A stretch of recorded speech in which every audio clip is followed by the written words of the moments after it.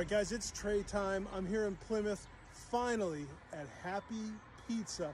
You've been telling me for a long time to get here and try their pagash pizza. I'm also going to try their round pie too, which looks pretty good.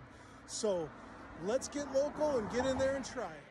So when you walk in the place, it looks like a small little takeout joint, but there's a nice little dining room over here. And then I see in the back, they have a large event room. So cool little complex. Happy's Pizza Pagash is probably the most traditional pagash in all of NEPA. It's a potato and cheese filled pocket. I went with the onions, as you can see, and two crusts that are flaky. Oh, and very, very hot, and it takes a long time to cool down. Their cheese pizza featured a tangy sauce and a cheese that had some sharpness to it.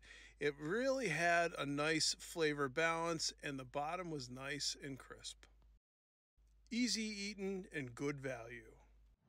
Wow, so that pagash pizza was like molten lava. I thought I had developed enough calluses on the roof of my mouth to not burn it off, but I am hurting right now after that scorch and I have to tell you, it was every bit worth it. The pagash is buttery, it's smooth, the crust is tender, flaky, and delicious. The onions for me make it. I know that that's a controversial topic for many. I even discussed that with the pizza guy inside that he loves the onions. I love the onions, um, but uh, some don't. But man, the aroma, the flavor, and that little bit of texture that those sliced and diced onions bring really, really made the whole thing. I'm not a big pagash guy. I leave that to my guy Pagache Reviews. Go follow him on Facebook. Uh, but this was impressive. This was very enjoyable. Absolutely worth the wait. You've been telling me for 12 years since I started doing pizza reviews, this is the place to be. And also the round pie.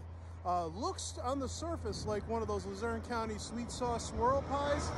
It's not sweet sauce. It's uh, it's definitely got some punchy flavor. It's savory. It's got a little acidity to it. Punchy, delicious, really, really good. Uh, the winner here, though, is definitely Pagash, like you all told me. But definitely uh, good value pizza and very delicious. Happy Pizza in Plymouth. Check it out.